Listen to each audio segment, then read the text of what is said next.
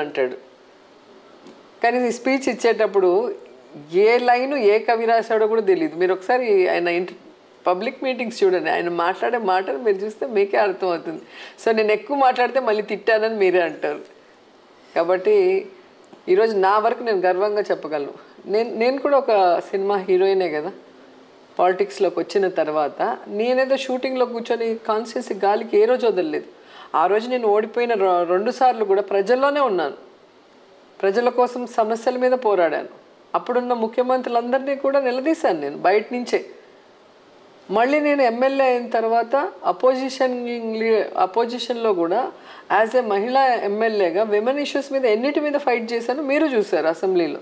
దాని మీద రూల్స్కి విరుద్ధంగా నన్ను సస్పెండ్ చేసి నన్ను అవమానించి నన్ను ఏ విధంగా డీటైన్ చేసి అన్నీ చేశారు. కానీ ఎక్కడ నేను భయపడలేదు.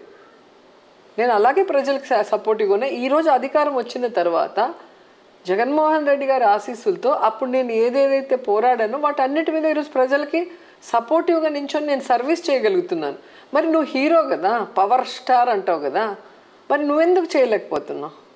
ఒక లేడీగా నేను చేయగలిగింది ఒక జెంట్గా నువ్వు ఎందుకు చేయలేకపోతున్నావు నేను అంటున్నాను. తేడా ఖచ్చితంగా చూస్తారు జనాలు. ఇద్దరు ఆర్టిస్టులు ఇప్పుడు బాలకృష్ణ కానీ చిరంజీవి గారు కానీ పవన్ కళ్యాణ్ గారు కానీ జయసుధ గారు కానీ శారద గారు కృష్ణ గారు కోటా శ్రీనివాస్ గారు ఎంతమంది వచ్చారు రాజకీయాల్లోకి? గమనిస్తారు కదా? మరి నేను చేసి చేయగలిగింది ఎందుకు పవన్ కళ్యాణ్ చేయలేకపోయాడు అనేది అందరికీ క్వశ్చన్ దానికి ఫస్ట్ ఆన్సర్ చెప్పానండి షూటింగ్సే చేయనన్నవాడు ఫుల్ టైం షూటింగ్లోనే ఉన్నాడు కదా.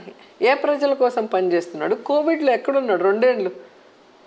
ఏం చేస్తున్నాడు? చెప్పాలి కదా. వైఎస్ఆర్ కాంగ్రెస్ పార్టీ నిజంగా ఆ ధైర్యం ఉంటే ఇవాళ నియోజకవర్గాల్లో అభ్యర్థుల్ని మార్చు